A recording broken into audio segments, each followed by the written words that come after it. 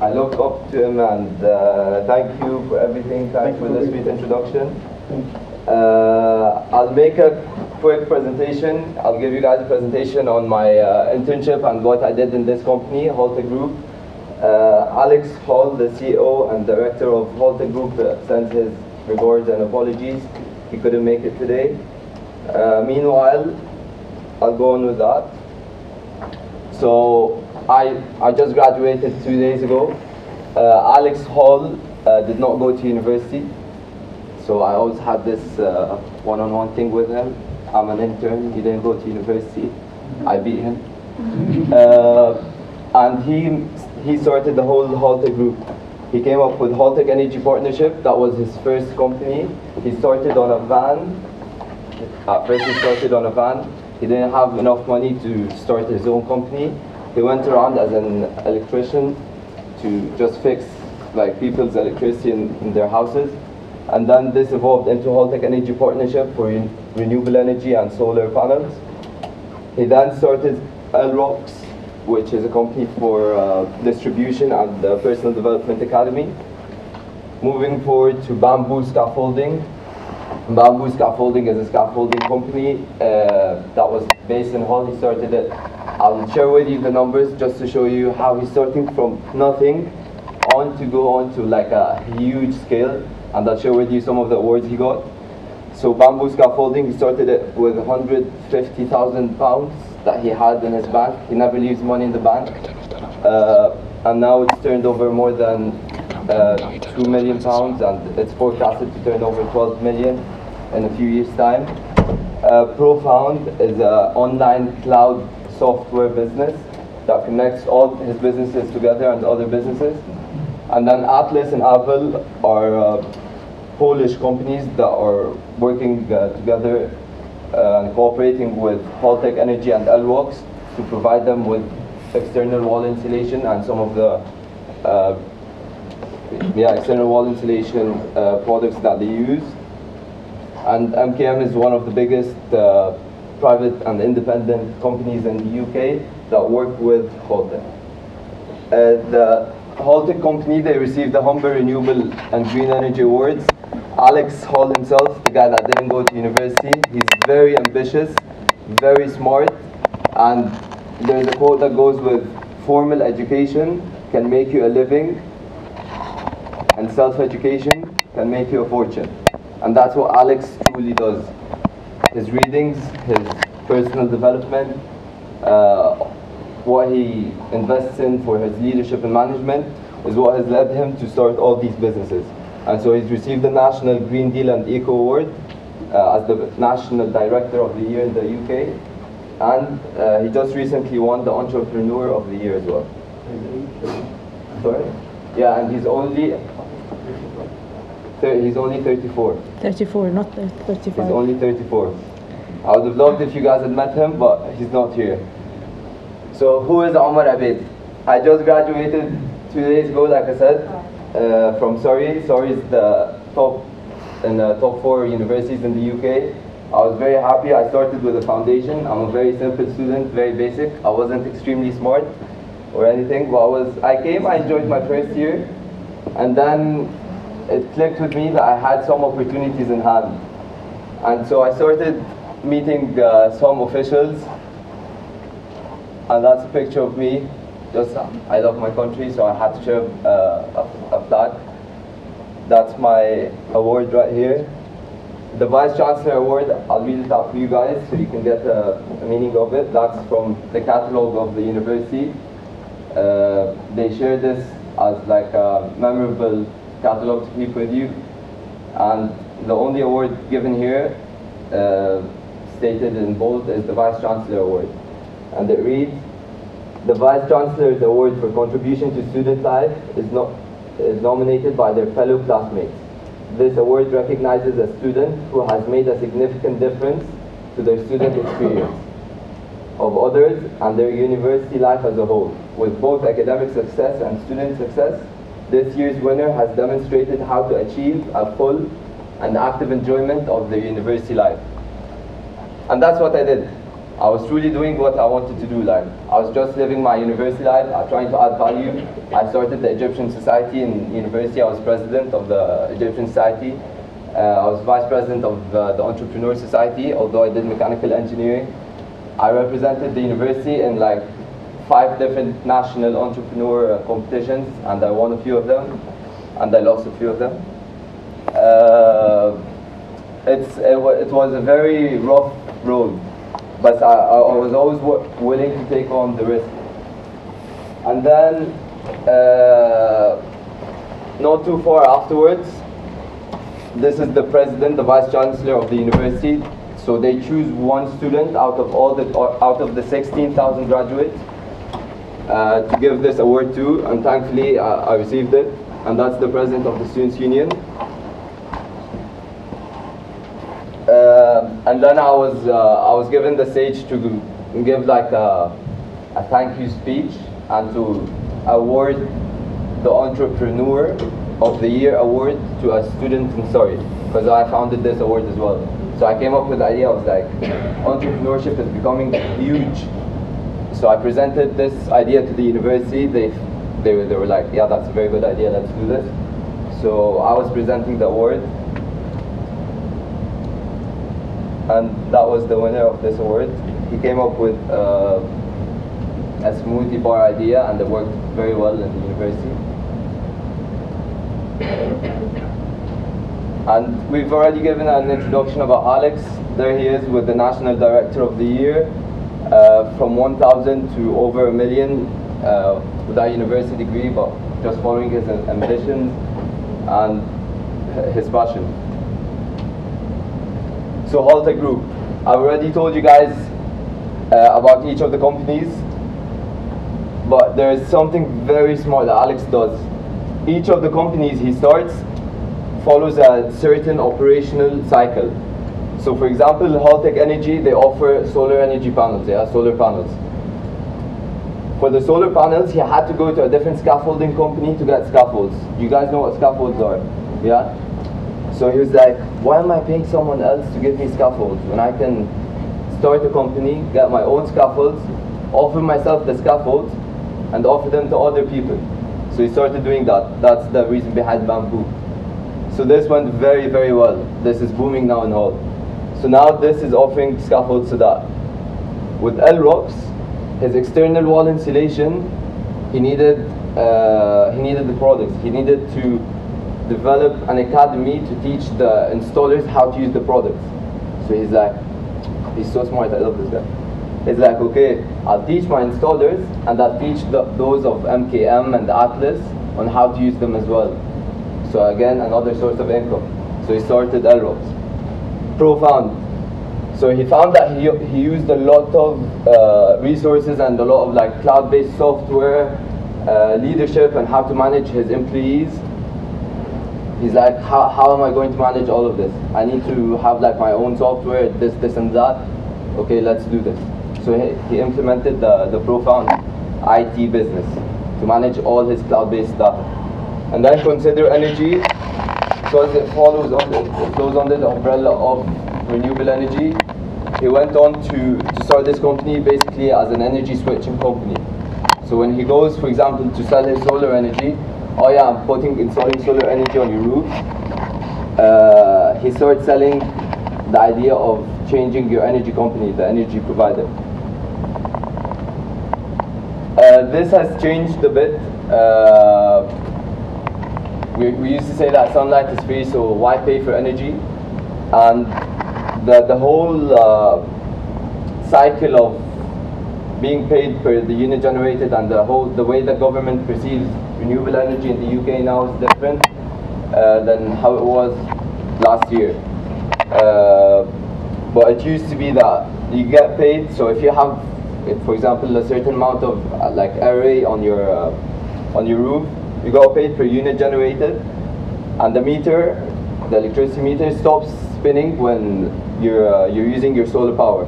So any energy used from the solar power, the meter stops spinning. So that saves you uh, saves you money. And then if you use less than what you've generated, you could sell back. You can sell back uh, the energy that you didn't use. So that was that was a very big motivation for people to install the, the solar energy panels. The external wall insulation is a bit different uh, because it requires a lot of manpower. Alex, that's why he, he had to train and he had to start this academy. And would you, does anyone here know anything about external wall insulation? Do you guys have an idea? Yeah? What, what do you know about wall insulation? They use the low conductivity material Yeah? to reduce the amount of heat gain from the abroad. Exactly. Do you think this can be used in the Middle East? Yeah, in Is it?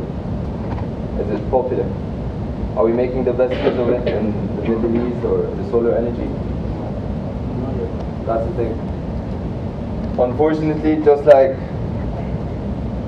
just like solar uh, panels solar energy, this can be yani, hugely, hugely beneficial, especially for us people in the Middle East with all the sun we have. Here, uh, the UK has a fraction of the amount of sunlight that, for example, we in Egypt have. But look how many look how many motives they're offering people to install solar energy. So why not come up with this idea that if you as a company, like something else Alex did, that he'd offer like, like a loyalty scheme. If us as a company are offering you solar panels, you get this loyalty scheme to keep growing your solar array or you install it on a different house and different house. It's like multi-level marketing. External wall insulation, he used to do the same thing with uh, with, with the whole uh, with the whole of Hull. So we used to go around Hull. Basically, we had we had different. It, it wasn't based on a tender tender business. It was more that you go to uh, to a house. Oh, I can make your house look a hundred times better from the outside, and it insulates both. Uh, yeah, it insulates the whole house, and it keeps it warm. Here in the UK, they want to keep their houses warm. That's in Egypt, we want to keep it cold, and it works reverse as well.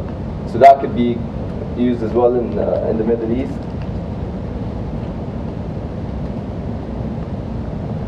And these are the different layers used.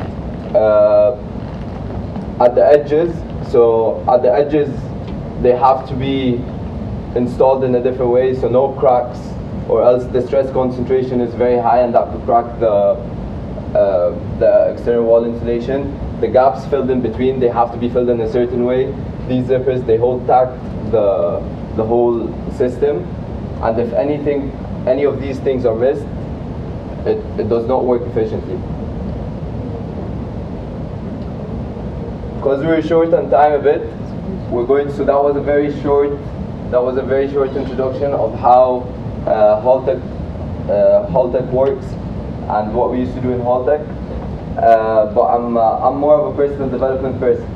I'm more of a like what what do you guys want to do, and that's uh, that's what we'll uh, jump onto now, and uh, we'll dig deep. I like to use this word, yani we'll dig deep a bit, because uh, I truly I'll tell you guys a bit about myself. I enjoyed what I did. Yani alhamdulillah, alhamdulillah, thank God.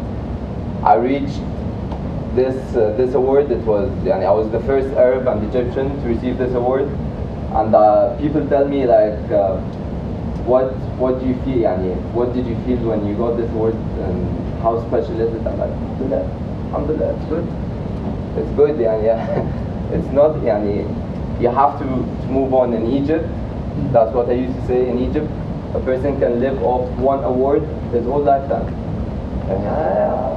I'm the winner of the blah blah blah award. Blah, blah. No, you can't. You have to keep moving on. And that's that's what I truly want you guys to know. Like, what do you want to do? What do you want to do? I know it sounds cliche. I know it sounds uh, like you've heard it before a million times. But this is truly what makes you different. When you have something in your mind and you're going straight for it. Alex, he wanted to serve his community. His vision, he had a vision. We came up with a vision board. I lived with Alex for three months. I was his PA, I was his personal assistant. and uh, I got an offer. You guys know from Rolls Royce. So I got an offer from Rolls Royce, and I was uh, I met Alex, and he's like, uh, and I got rejected from Rolls. Like I, I reached there were 33,000 applicants, and then they choose the final five. I reached the final five, and I was so proud, so proud. And uh, a few days later, they called me and they said, Omar, we're sorry. I, at the time, I was entering, uh, I was nominated for Young Business Leader of the Year in the UK, different leadership awards. And they called me, they said, Omar, you're too ambitious. We're sorry, we don't want a character like that basically in our body. Wallahi, I was shattered. I was shattered. I mean, I sat in my room for a whole week uh, doing nothing because I felt like I was living a dream. Like, am I not being realistic with what I want? And I reached final five with Rolls Royce. I'm being unrealistic. And then I met this Alex guy, and he opened a whole new world to me. When I gave him the same presentation that I gave to Rolls Royce, he saw it as magic. He was like, no, you're definitely working with me. And this is the kind of opportunity, yani, if- I didn't give up after this Rolls Royce thing. I sat for a week doing nothing, but then I was like, come on, yani, life goes on. So I met Alex, and uh, we started uh, we started the business together. We got invited to the House of Parliament. We met David Cameron uh, for uh, for bringing foreign investment into the UK, and uh, we found that that's that's what I truly found that if I had yani, if I keep going on with following my passion, my dreams, that's where you achieve your greatest. So the second half of this uh, talk will be about uh, who are you? Who do you want to be? Do you want to be the skilled producer, the artist, the talented person? Or do you want to become a manager, leader in a certain corporation or business? Or do you want to be the actual entrepreneur, the founder of that business? It's very important that you know who you want to be. So we'll move on to that now. I'll give you guys a quick, just a quick uh, break.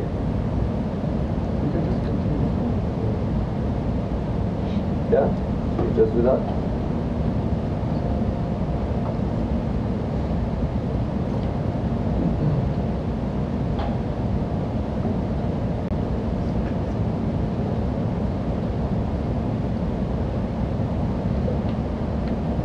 So I'll give you like a quick break watching this uh, video. Um, in Haltech, we were very motivated to run these businesses. We were only a team of like 15 people, but to run these businesses, we were all running like, I mean, we're a team of 15 people in the office, but obviously the company was about 40 of us. But to run, to run about seven businesses from that office, we had to be like on top of everything. We used to wake up at 5 a.m. We needed to go to the gym. If you don't go to the gym three times a week, you pay 10 pounds to charity. That was his motivation. Uh, it was crazy, but it was amazing. And uh, we, I used to have every Monday. I gave a 6 a.m.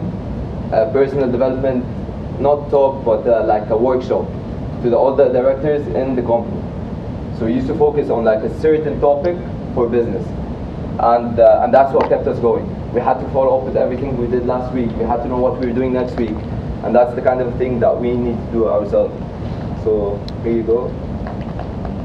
Who are you? We'll watch this video quick.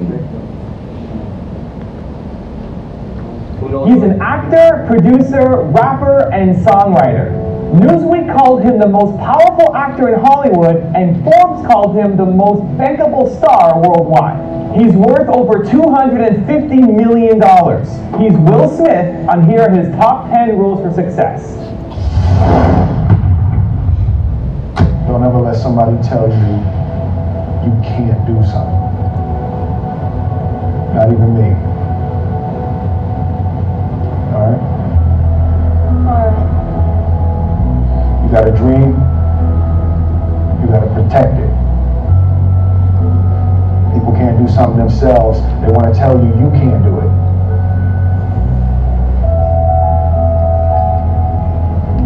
You want something, go get it. Period. We didn't grow up uh, with the sense that where we were was where we were going to be. You know, we grew up with the sense that where we were almost didn't matter because We were becoming, we were becoming Right. something greater. There's a concept that I don't want to be uh, an, an icon. Um, I want to be an idea. You know, I want to represent an idea. I want to represent possibilities. Um, I want to represent magic, right? That you're in a universe and two plus two equals 4 Two plus two only equals four if you accept that two plus two equals four. Two plus two is going to be what I want it to be. Mm-hmm. You know, and there's a there's a like there's a there's a, a redemptive power that making a choice has. You know, rather than feeling like you're at a, effect to all the things that are happening. Make a choice. Like you just decide what it's going to be, who you're going to be, how you're going to do it. Just decide.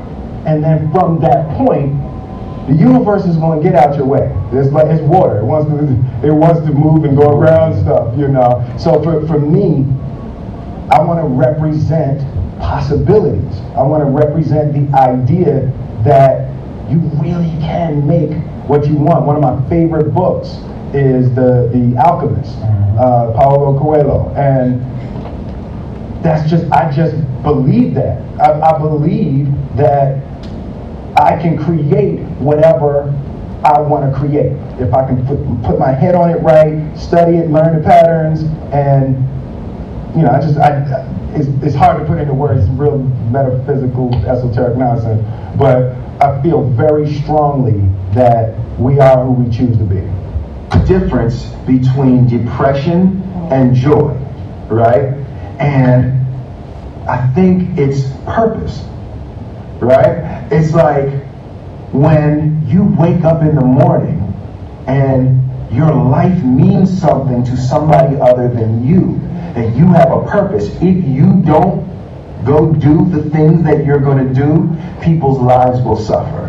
And I think that that kind of purpose, that like to live in service, not to you, but to live in service to humanity, to live in service to your family, to live in service to your church, to your city, to your country, to the world. Living in service is that, I, I, I feel like that is the purest form of joy.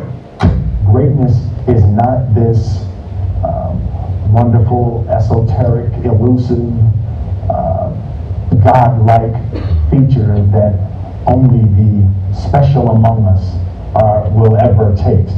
You know, it's something that truly exists in all of us. It's very simple. This is what I believe, and I'm willing to die for it. Period. It's that simple. I know who I am, and I know what I believe. I know who I am, I know who, what I That's all I need to know. And that's all I need to know. So from there, you do what you need to do. You know, and I think what happens is we make the situation more complex than it has to Because be. we're looking for complexity, there's gotta be something Absolutely. complex to understand. It Right can't be that easy. No. The road to success is through commitment and through the strength to drive through that commitment when it gets hard. And it is going to get hard and you're going to want to quit sometimes, but it'll be colored by who you are and more who you want to be. I definitely found that wanting to be an actor stems from wanting to be somebody and wanting to say something to people. The only thing that that I can see, you can never really look at yourself. The only thing that I see that is distinctly different about me is I'm not afraid to die on a treadmill. Right? I will run. You would not be outworked. I will not be outworked. Right. Period. Yeah. You know, you might have more talent than me. You might be smarter than me. You might be sexier than me. You might be all of those things. You got it on me in nine categories. But if we get on the treadmill together right? There's two things. You're getting off first, Yeah. or I'm gonna die. It's really that simple, right? So, let's go back to the question about what if people block me out. It's, it's gonna be two options. Yeah. I'm gonna get back in, or I'm gonna be dead. Yeah. Right? It's like you're not going to outwork me. It's it's a it's a very it's such a simple basic concept. Is the the guy who is willing to hustle the most is going to be the guy that just gets that loose ball. You know, he, oh, he got the, oh, he got the, oh, okay, he got two. He got, ooh, God, he hustled, he grabbed that one. That was going to be out of bounds, but he saved it uh, back in. It's like the commodity that I see the majority of people who aren't getting the places they want or aren't achieving the things that, that they want in this business is strictly based on hustle. It's strictly based on being outworked. It's strictly based on missing crucial opportunities. I say all the time, if you stay ready, you ain't got to get ready.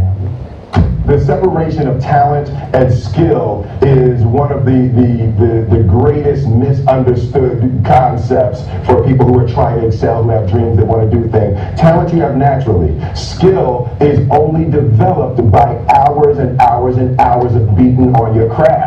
There's no easy way around it. No matter how talented you are, your talent is going to fail you if you're not skilled.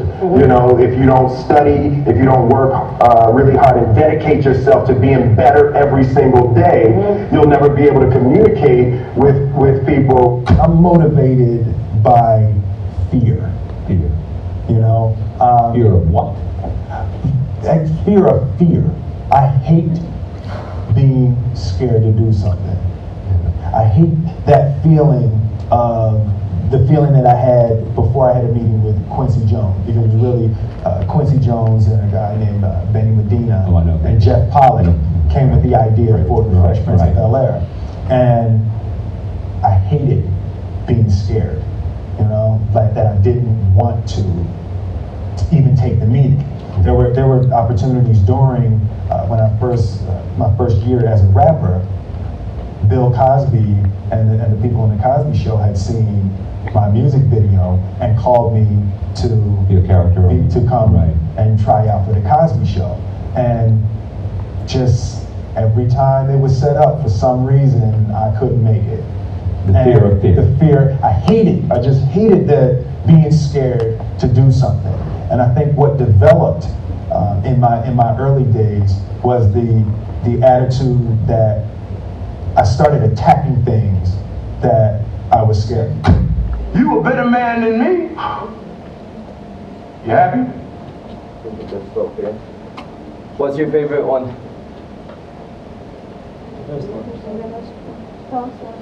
Sorry? The last time you The last one. Uh, no, um. You mean let- let fear motivate you? Number yeah. Co- come on stage and sure. Why? Uh, because I have the same fear. You, how, how would you feel like coming here and telling us what you fear and what you don't fear? Um, uh, it's personal issue, so if one work here, Yeah. I guess yeah. If uh, who else who else want who would like to share his his like the, the most rules he like like the, the rule he most like would like to come and say here and share his thoughts. Get out of the comfort zone. Yes, that's what I want to do. You guys are not saying here on the chairs. I'm just letting you know, huh? There's Come, come, come. Yeah, yeah, come, come. Come.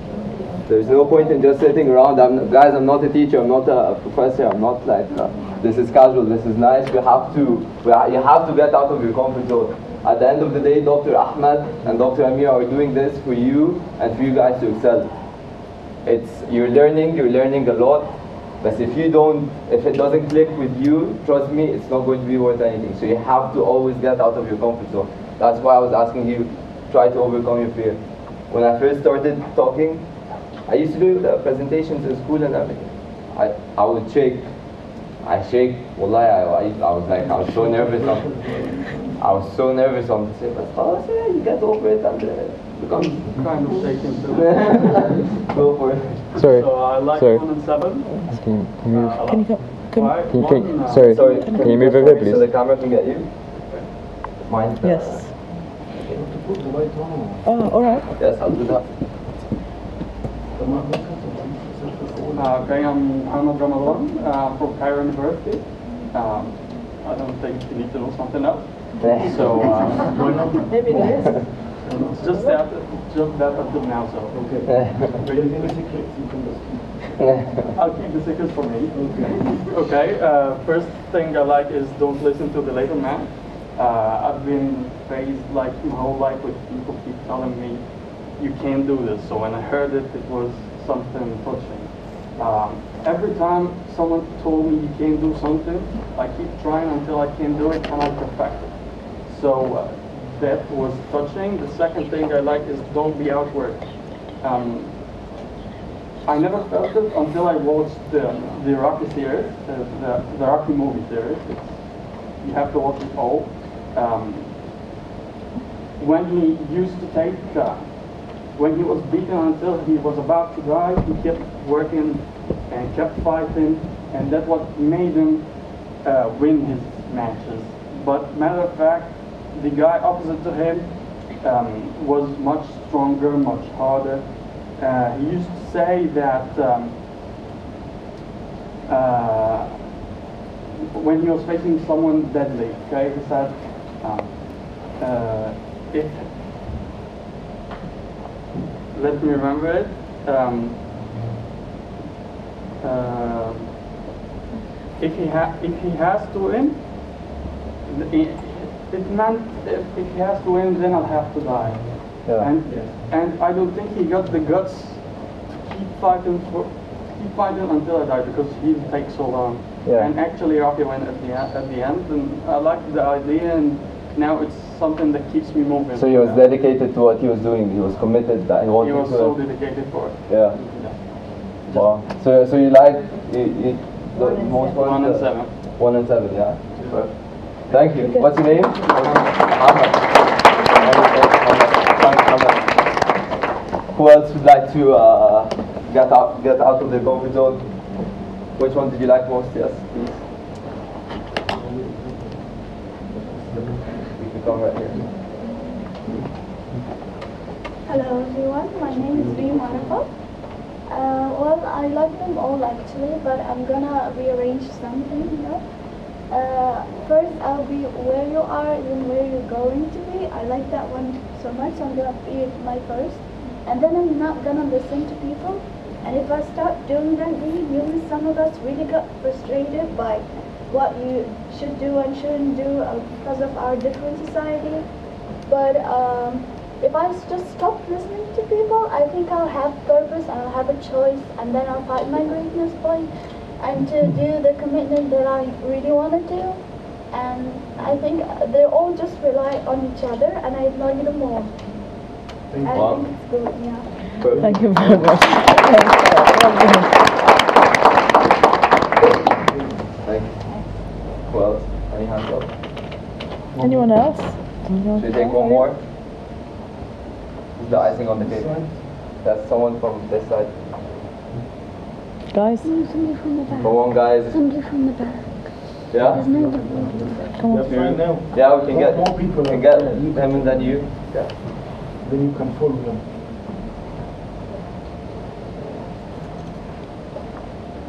Muhammad Sarkani with uh, the night.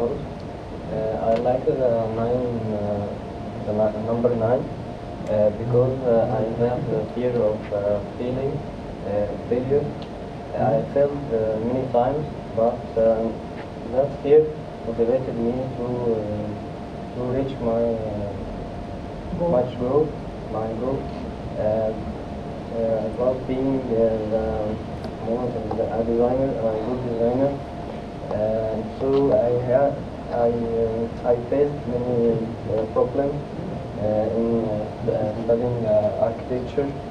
Uh, my teachers, my doctors, uh, and me uh, a lot. I, they, uh, they said to me, uh, you're a failure many times. Uh, so I get motivated. Yeah. So it motivated you. Yeah, until I reached my uh, my goal about being uh, first uh, or, uh, or um, among among my uh, my colleagues, among uh, my friends. Um, guys, don't you think this guy just got out of his comfort zone? Yeah. yeah. Well done. What's this?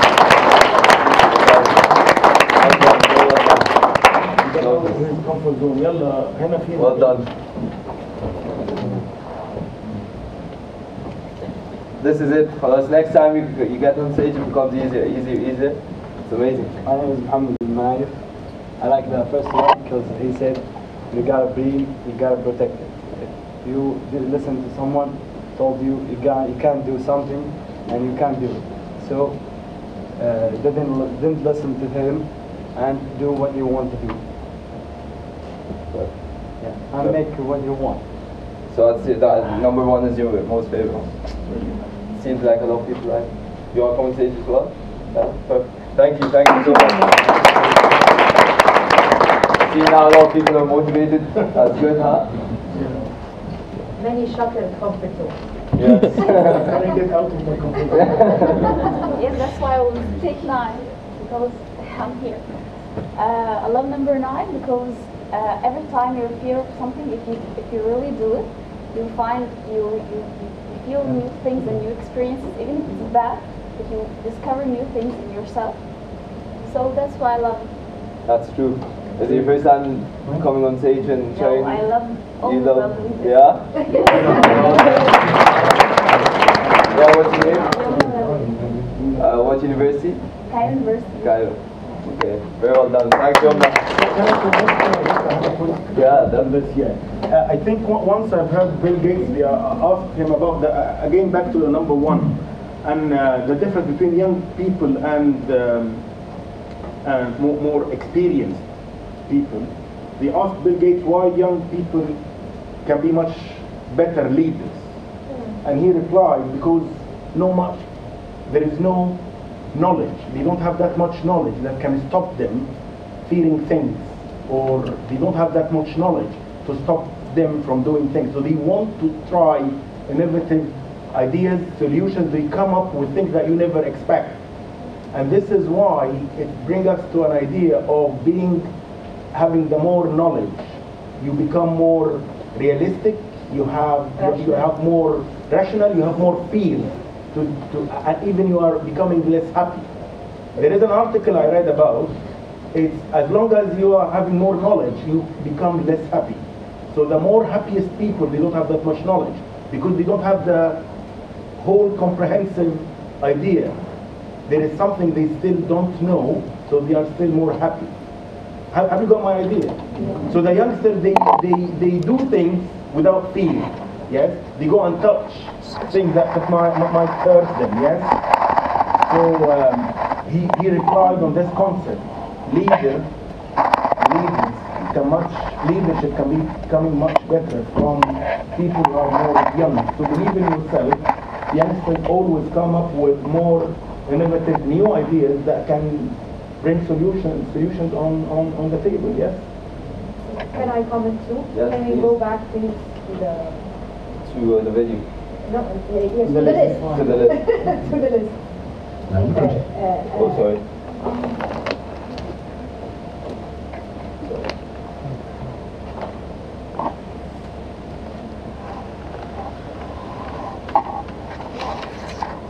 Tell Will or not. Okay. So uh, I think uh, there is more to number five, being great. It's very important that uh, all of you should be true to yourself. This is actually one of the meanings of being great.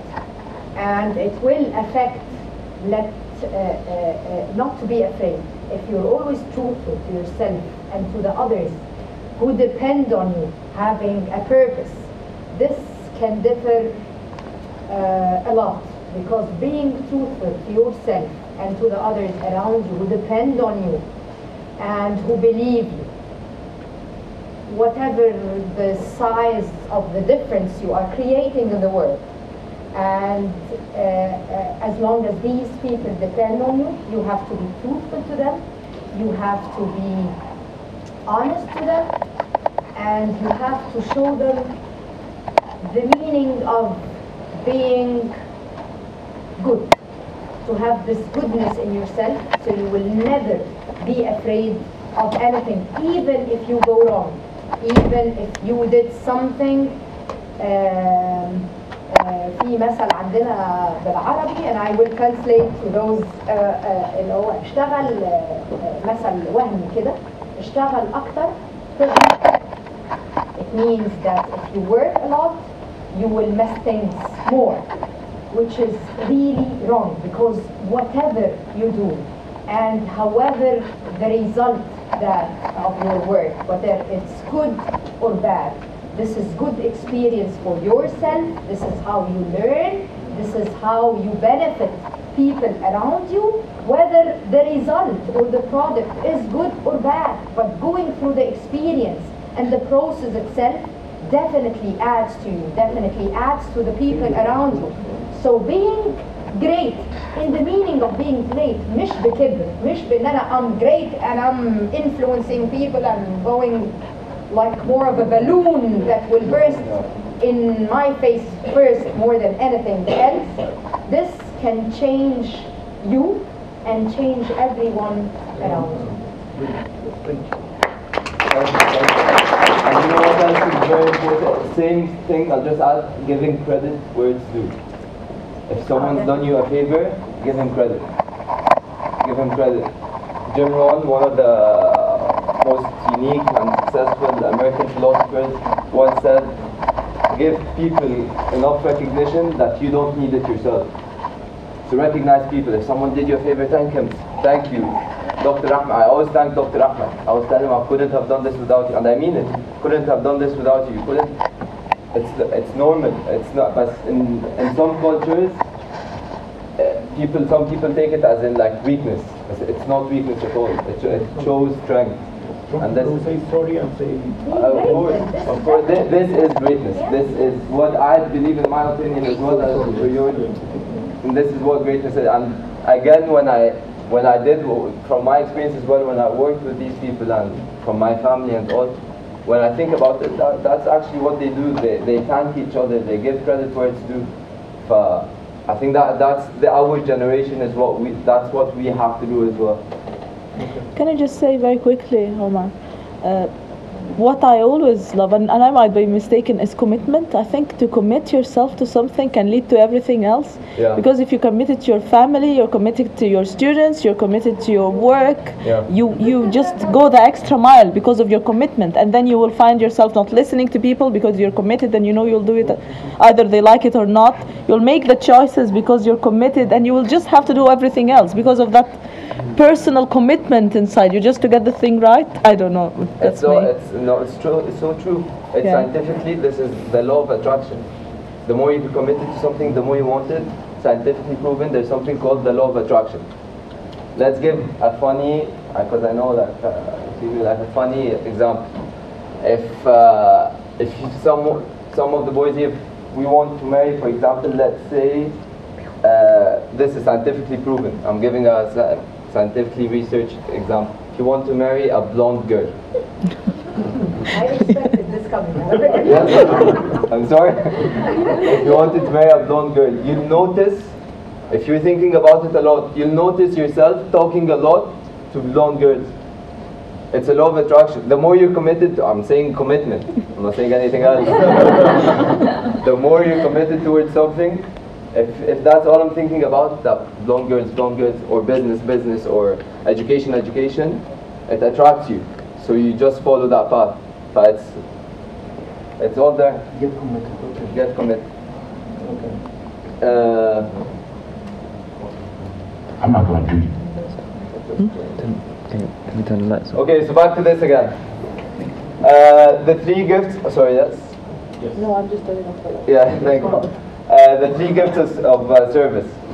So you can either be an artist, you can have the, the extraordinary talent, the consistency, uh, constant, con- consistently uh, meeting the needs of the community, and uh, having that special talent that Will Smith was talking about.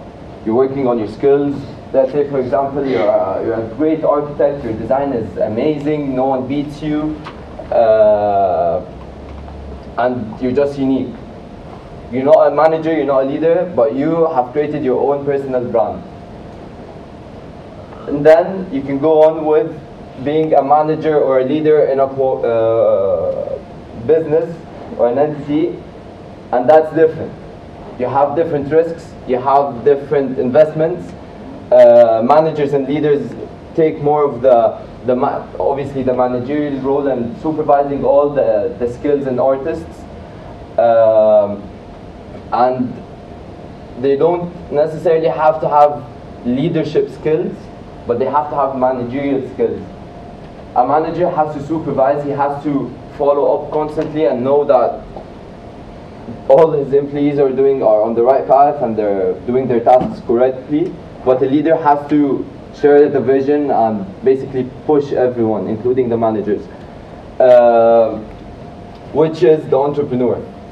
So the entrepreneur is the, that vision creator. He engages with the, the, the leaders and the managers. And uh, normally entrepreneurs have a lot of risk tolerance. They're willing to take risk. The manager wouldn't necessarily want to take risk because he goes by the book. If, uh, if my forecast tells me I'm going to be losing a, certain amount of money, then that means I don't want to invest in a different uh, part of the business. But an entrepreneur could see that differently. He could see that by investing in that other part of the business, that could give him a better risk of uh, adding more value to his overall business and increasing the forecast. So it's quite different. I'll go through with some different examples now. What would you guys think Rooney is? Who, what would Rooney be? Would he be a skilled artist? Would he be a manager? Or would he be an entrepreneur? Don't know. You. Do you guys know who, uh, who Rooney is? Football, player, Football player. Manchester United. Yeah. Who would he be? Would he be a skilled artist? He scores the goals. He's the end. He's the finisher. He's built his own personal brand. Or would he be a manager or an entrepreneur? A skilled artist, right? In this case, the skilled artist could be. He could get the most money in Manchester United. He's making a whole lot of money. He doesn't have to worry about uh, managing anything. All he has to do is score goals And he gets his salary. and he gets his salary, but he's doing amazing. What about Sir Alex Ferguson? I know he's not the current man, Manchester United manager, but I'm just using him as a, an example because he's very popular. Uh, who would Sir Alex be? Would he be a manager or the skilled artist? Or some say both, yeah? Or an entrepreneur? Manager? Skilled artist? He could be an he could be skilled in managing, but his role is what? He's the manager. He's the one managing the team. He's the one that has to give them the formation. He's the one, and he takes a lot of criticism. Okay, Rooney might miss a goal or two. He gets criticism for that, but Sir Alex Ferguson has to face criticism from the, the owners of the club. He has to face criticism from the newspapers, from the players. He gets a lot of criticism. Yes, he gets paid a lot. Yes, he gets paid a lot. Maybe not as much as Rooney does, but that's that's the whole role of of of the manager. And some some of us, because we like the idea of managing and becoming that manager, we don't look at increasing our skills and working on our skills to become skilled artists, but we just want to become a manager. But in reality, some in reality sometimes it could be better to be a skilled artist. Uh, and that, that's why I'm asking you, who do you want to be? Who would the, do you guys know who these are? These are the Glazers. The Glazer families, the, these are the owners of, uh, of Manchester United. They're in debt of millions and millions of pounds. Uh, they're the entrepreneurs. They'd be, in this case, they'd be seen as the entrepreneurs because they own the club. They have to follow up with uh, Sir Alex Ferguson. They're not making money. They pay a lot of the money to the players, but they're not making money. But they're the entrepreneurs. So in reality, I could be a very skilled artist in Alex's company, that I could be very good at business development and and and and get paid a very good salary, but the entrepreneur Alex Hall, the founder and the owner of the business, could not be making as much money as I am. But in this case, that wasn't the case, obviously. But uh, that's how it is in some cases. So it's very important to know who you, what do you want to do. Do you want to become an entrepreneur and face these kind of risks, be in debt and enjoy enjoy the they're, they're in debt but they're enjoying it, be the risk takers, or do you want to be the skilled artist, or do you want to be the manager? Each each phase and each role has uh, its different risk-taking uh, measures and different roles,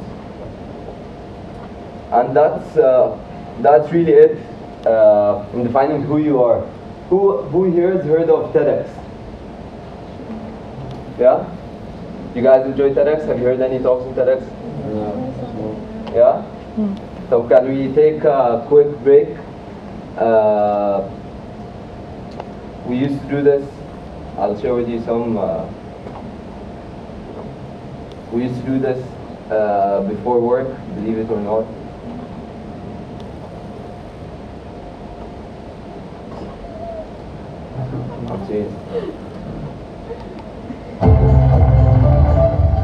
I gave a TEDx talk in uh, in university myself, and I'll can I share that with you? Uh, we have 12 minutes left. It shouldn't take that long. Uh, but I'll just share my TEDx talk with you because I think it's, it's, uh, it fits the topic of today, identity and what you want to be. Uh, but before we do that, we'll just take a quick break so that you guys start moving a bit because I don't, I'm not liking the way this. So please get up. Get up,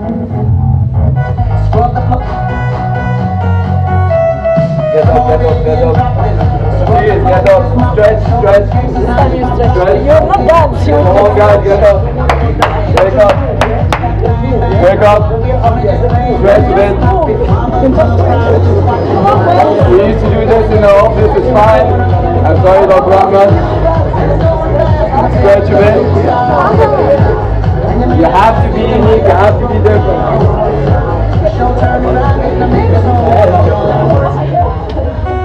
There's nothing wrong in stretching and being yourself. Stretch, wake up. You're gonna be great, you have to be different. There's nothing wrong with that.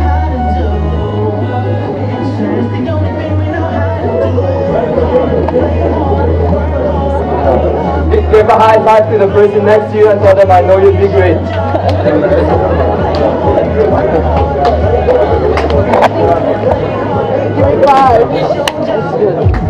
Yeah? Let's do this. Thanks guys. Well done. Well done, well done. كنا تعبنا من القعدة They're good. Uh, we actually did that in the office. If we, if Alex comes in and uh, we see that we need a break, he'd be like, "Get up, get up, get up! We need some energy in the office." And then all of us would start dancing. I'll tell you the secret. Uh, we, if he'd pick on, like for example, let's say someone like, let's say Dr. Ahmed sat and he's very uh, tired, so he'd get up, make a dance, and we'd all have to uh, follow Dr. Ahmed's dance. so that's what we used to do. So if someone got up and started doing like this, for example, we'd all have to start up doing this. Because yeah, he's uh, he sponsors the. He's very big. Like you guys, uh, he's he's the national director of the year. He's the entrepreneur of the year in the UK. Uh, he's he hasn't been to university, but that's great. It's amazing because all he's doing is he's doing what he loves. He's following his ambitions and his passion, and uh, he loves inspiring people. Boxing and he's has just one of. Uh, And he sponsors, yeah, he sponsors the Olympic gold medalist of the UK, uh, Luke Campbell, uh, and now he sponsors uh, Hull FC. He's uh, Hull FC. Uh, who follows rugby? No one. Uh, Hull FC is uh, now number one, it's top of the league in rugby in the UK. Rugby is huge in the UK. He just became their official sponsor. He's, he's doing extremely well. But that's the secret, because with everything he's doing, he's doing what he loves, and he, he shares his passion with everyone. And that's why he had all, if anything, the most important asset that he looks for in someone is his confidence and being unique, being different, being with Danny, willing to go that extra mile. That's all he cares about.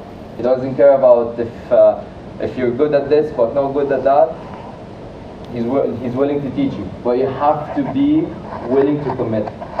That's the most important thing. Uh, so I'll share with you the I'll share with you the quick uh, TEDx talk. You guys, uh, sorry? No, I'll give it. Okay. Yeah. Would you guys, uh, are you happy to listen to that?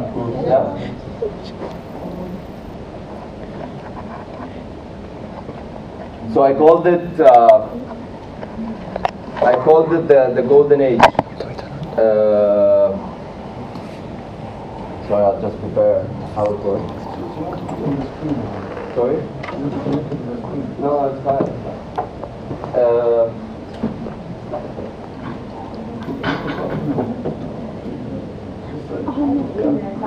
Press the camera. It's been a while since I've given it, so I'll just uh, read a bit from the script uh, to remember it. Uh, I called it the Golden Age. My TEDx talk was called the Golden Age. What, i- what if we don't conform? You guys know what conform means? What if we don't conform means what if we don't follow what society wants us to do? That was my uh, topic. So, said I'm honored to be with you today as I reach a huge milestone in my life, being part of the TEDx family. And I say that because TED has a unique identity and power that resonates with people. So I've decided to talk to you today about that identity. I'll share with you three stories my backpack, the 100 people, and being attractive. I moved from Egypt to the UK back in 2012. I packed my backpack with my necessities to explore a new world of opportunities. I put my possessions, my relationships with family and friends, and my career in the backpack, and kept my parents' advice in mind. Take care who you're friends with. A piece of advice we've all heard before. You can imagine how much of a burden it is to carry all that with me. They were all necessities though. A heavy, lofty backpack that I have to take to each and every lecture, meetings, and social nights, where I very gently and nicely stuffed my new university relationships in the very same zipper. We've all come here to learn, explore, and succeed.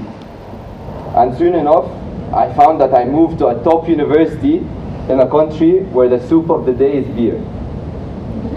And so, alongside my formal education, my personal development, and self education, I've always been a fan of social nights, music, movie nights, sports, watching football at the bench. Yeah, it's like saying I'm a fan of beer, beer, and more beer. And that's how influential society is. And at the very same time, society holds us responsible for each and every decision we make. Now, keeping that in mind, we live today in a golden age, an age that men and women have looked forward, dreamed of, and worked for for thousands of years. We are lucky to live in the richest era that ever existed on the face of earth, especially in a country with abundant opportunity for everyone. So it clicked with me that I'm living alone in the country with abundant opportunity, and I'm free to explore and experiment with all these different opportunities. But do you know what happens eventually? According to Earl Nightingale, if we take a hundred people that all start even at the age of 25 who believe they will be successful and are eager, ambitious, and have that special sparkle in their eye, do you know where they'll end up at the age of 65? Well, only one will be rich, four will be financially independent, 41 will still be working, and 54 will be broke. That's more than half. Now think about this. Why do most of them fail? What has happened to their dreams, ambitions, and success? Scholars have proved that we perform at 10% of our natural abilities. And a lot of us fall into the dilemma of not having enough time to pursue what we truly want to do in life. when we actually spend most of our time Netflix and chilling. Or even fall into the trap of waiting to see where life takes us and forget our purpose in life. We merely conform to society. That's what we do. If We conform to society. We more or less become average. We share the average smile, the average handshake, and the average heartbeat. I'm sure you all want to be above average. And by definition, you can be above average if you act based on your upbringings and experiences. Because we've all been brought up in relatively different environments, under different circumstances, and have different ambitions. And economically, you can be above average if you invest in yourself and provide yourself with the skills needed to do what you truly want to do in life. I don't study economics, but I know that the first lesson in economics is that you primarily get paid for value. True or true? You don't get paid for your time, you get paid for value. The more value you bring to the marketplace and your society, the more you'll get paid. And I believe this is what the successful do that sets them apart. They realize that their character, their character is the most important asset. They attract success rather than pursue it because their identity allows them to do that. Their character, confidence, vision, passion, and uniqueness allows for success to come their way. And those are the people that tend to grow to become great influencers. Because the kind of influence they share originates from the character they have invested in, and as a result, they are sharing their true value. So, as Alan Watts once said, think of yourself as a cloud. Because you see, clouds never make mistakes. They each have their own identity. Did you ever see a cloud that was misshapen? If we develop the right amount of self-confidence, not too much so you don't get cocky, but the right amount to follow your own intuition and develop your own valuable identity, we will no longer feel the need to conform to society. Well, I assure you that my backpack today is a lot lighter. I have learned to carefully develop what I carry, efficiently take other people's luggage on board, and the courage not to conform to society. For as Rollo May said, the opposite of courage in our society is not cowardice, it is conformity.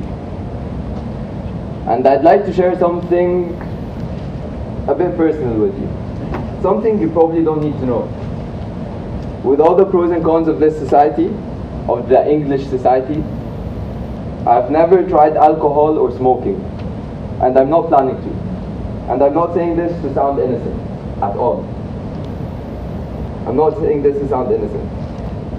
But I say it because in each and every one of us, there is power of identity and self-belief. And that is what we need to invest in, identity and self-belief. Trusting yourself, defining your identity, and finding that reason to wake up every day is what makes you who you are. So what identity will you carry at the age of 65? Thank you. Thank you very much. Thank you very much, Arman. Thank you. That was really inspiring. I was uh, more than inspired. Okay, no, sorry. How are you? We have our just on time. I want to sit here. Sorry. All right. Omar, thank you very much indeed. I was inspired.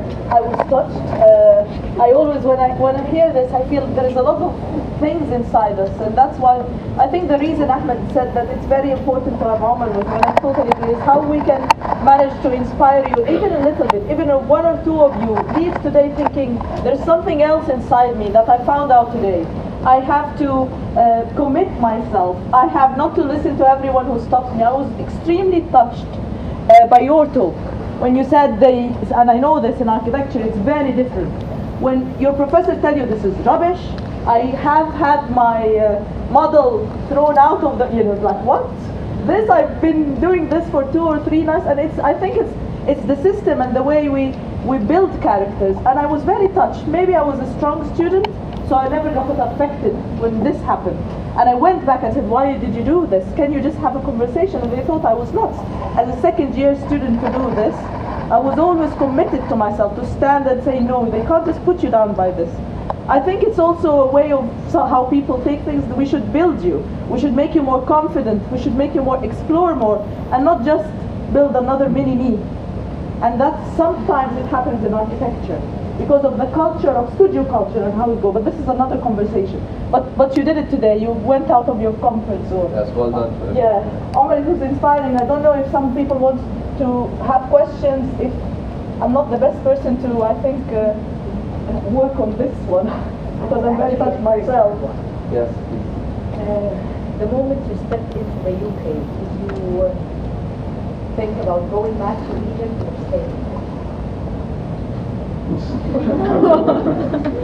when I left Egypt, I'll be honest, I love Egypt. I come from the countryside, uh, from Sharia, uh, originally on Shalawi.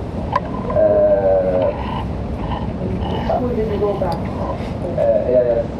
Ah, okay. The American National But uh, I left Egypt as most of I, uh, I'm not, يعني, it's not something If that I'm we're all bringing proud you of. out of your comfort zone too much, No, no, no. It was, uh, I left Egypt wanting to leave Egypt, basically, because I was tired. I was like, oh my God, يعني, خلاص I've had enough of this country. But, uh, but then I knew I was, I always loved Egypt. I knew I was coming back for sure. But I left it wanting to take a break. And the more I stayed out of it, and I always went back every like summer, every winter, every single holiday I have to go back. And I found that I just can't live outside of Egypt. Yani I'm, I, like right now when I graduated, I'm going to Egypt in a few days. So I'm going and I'm starting a few, uh, I'm starting a business there in Egypt and I'm starting a, an organization with different universities with the help of Dr. Ahmed. So it's, uh, that, that's my passion. I want to, yeah, I want to add value Egypt. I want to be Egypt. But obviously it's, uh, it's useful to work in the UK and get some experiences and learn from the English people because they have a different culture. Uh, but that's, yeah, that's, that's it. I think uh, just maybe close this uh, session by uh, saying that uh, uh, me and Amira and the rest of the team, I think when we um, invited Omar last year, was, we, I always believe in uh, with young, young people when they see a young um, person like them in the same age uh, um, have done something that they are already very committed. This is more um, uh, more convincing to you rather than me just giving you theories and talking. So you you, you see the example uh, physically um, uh, in reality this can be uh, happening. Um, final thing is. Sometimes you have this extra, do this extra mile to get out of your comfort zone and don't take it that easy and be committed to do things. For put yourself, you, uh, uh, if you put yourself for, uh, in an Omar situation, yes, he already went back to Egypt two months ago, and now he's coming just one week with his family to attend his graduation ceremony. It's a very bu- busy week. I can remember when I graduated from my PhD in Nottingham University, and my parents came as a family. I, I, even I, I don't want to answer a phone, yes, because I, I I'm busy, but I'm doing nothing, yes, busy doing nothing. But he get out of his comfort zone. He get the train. He tried to come last night, but he missed the train because he has to go to the embassy uh, what they call it to accredit his certificates and things. So he went to the Egyptian embassy to get all his certificates before going back, accredited, stamped officially, ختم النساء. Uh, and, and, and it took and it took took him took him a long time till he missed the train. He was planning to come at night, late night. He couldn't make it, and then he had to go to one of his friends to spend the night. Yes, wake up in the morning, five in the morning, to get into the train to come here eight. I went and picked up I picked him up from the railway station at eight. So all this within his um, this busy busy time, it's completely out of his comfort zone. But he's happy. He's very passionate about it. He's, I'm happy that he's that he made it. Um, Thank you, Doctor. I'm honored to We're happy to Thank have you, yes, and we are happy to have him. I think last last year as well, he uh, he was in the States and he has to attend the workshop with uh, with us in Elrox and Hull. Yeah, And I was- met him in the in Leeds connection. So he arrived in Leeds and he left one of his bags in, in the train. So yes, he had two luggages and he left one of his luggages. I forget things, but Yes, so uh, he, he left it in the train, but he has to give a, a talk to the workshop.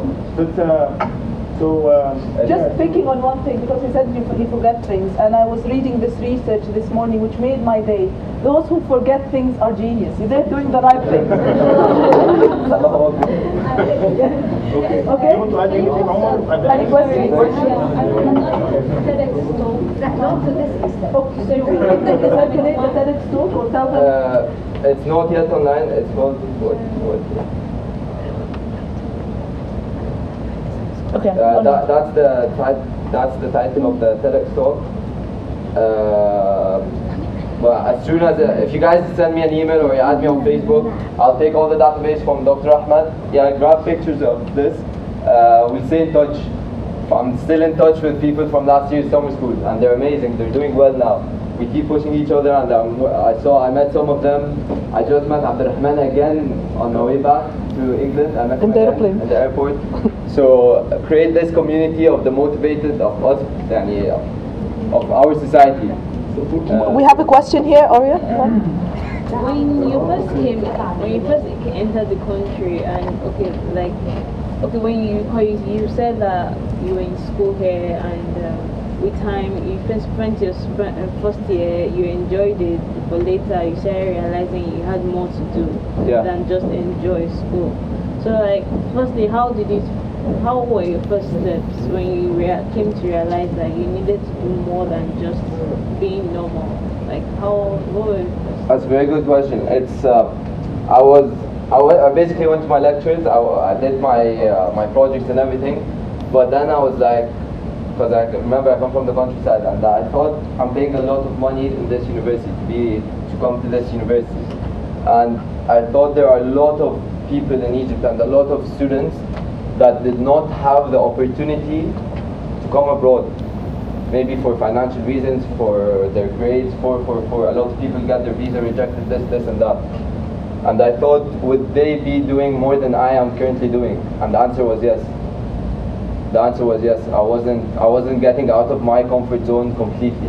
And that's what pushed me. I thought, I thought of these like unfortunate people back, back in Egypt that would want to be doing half or have half the same, uh, half of the chance I had of coming to the UK, and that's what truly pushed me, as in like imagining what others would have done. I think all of this bring, brought, bring us to the first few words that you said during our meeting, and this is where I found that Omar is completely different. So can, can you reflect? Do you still remember these words? Uh, yes, that I, that's I think exactly You can what I say said in Arabic. in you front can of say the in Arabic minister. and yes, you can say in Arabic and then translate it. Please. I said basically I was with the Minister of Education, and in Arabic I translated. I said uh, أنا أنا جيت اه أنا أي نعم جيت الجامعة في إنجلترا والحمد لله كله بس آه، أنا مقتنع إن حتى الطلبة اللي أو جامعة القاهرة أو أي سي يعني مهما كنت بتدرس فين مادام أنت حابب اللي أنت بتعمله مادام أنت عايز تدرس أو تتعلم حاجة هتتعلمها ايا كان أنت في إنجلترا في أمريكا في مصر في نيجيريا في أي حتة في العالم. مادام عايز تتعلم حاجة هتتعلمها.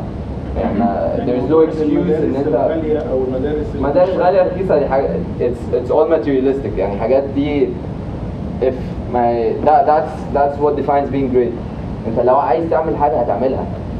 حتى لو في مصر أنا عارف صدقوني أنا عارف إن في مصر it's difficult. والناس دايما يا عم أنت بتعمل إيه؟ وأنت فاكر نفسك هتبقى إيه؟ عادي ماشي. أوكي. أوكي حلو تمام. واخرج واتبسط واعمل.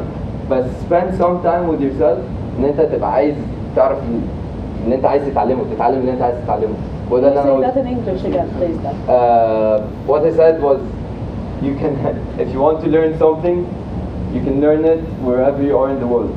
No matter if you're going to school in the UK, in America, Nigeria, wherever you are, if you're paying for an international school or a public school, uh, school, it doesn't make that much of a difference with yourself. If, if you want to know the science behind the whole universe and you're truly into it, you will find a way to learn it. I don't care if you're in a I don't care if you're in a private school or a public school. You'll find a way to learn it, and that's what I said in, in front of the of the Minister of Education and, and Dr. Ahmed. So Dr. Ahmed was like, oh, that's it. We can have uh, one more question or two if you have any, because we have to take 15 minutes break for coffee and then we come back. I forgot to say something at the beginning. I'm really sorry. Um, Clifford Spencer sent me an email very, very early uh, apologizing for not being here because he had to go to an unexpected meeting in, uh, in Rome for the United Nations da, da, da, da, with all the ministers and the very important people in the world. And he said he couldn't make it because he arrives today at 4 in the morning and he will be in London. Then he have to go to Leeds and he will never be able to make it in time. So wish you all a very, very successful day and week and he's sure you're going to get uh, a very good experience here. He's been here with us before and he always finds it fascinating. That's his word. He's saying it's fascinating and inspired him. Even after all those years, it still inspired him. So really sorry, I didn't say that in the morning. Yeah. Omar, let's uh, just join me to thank Omar very much. You very much.